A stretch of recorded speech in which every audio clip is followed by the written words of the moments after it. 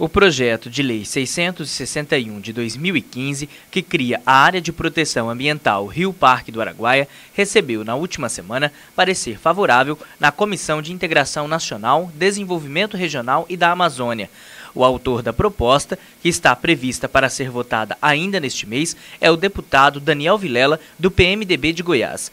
A criação do Parque Federal tem como consequência a integração de ações de preservação na região, ordenando o processo de ocupação e o uso de recursos naturais da bacia do Rio Araguaia, para que a preservação da fauna e flora ocorra de maneira mais uniforme e efetiva.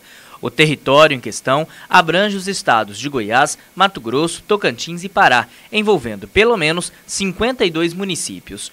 O projeto visa garantir a exploração sustentável do rio, potencializando empregos, especialmente com o turismo ecológico e a pesca esportiva, além de garantir maior fiscalização contra as ações predatórias. As áreas de proteção ambiental são constituídas por propriedades públicas e privadas e não demandam desapropriações, e a gestão é comandada por um conselho formado por representantes de órgãos governamentais das três esferas e entidades da sociedade civil organizada.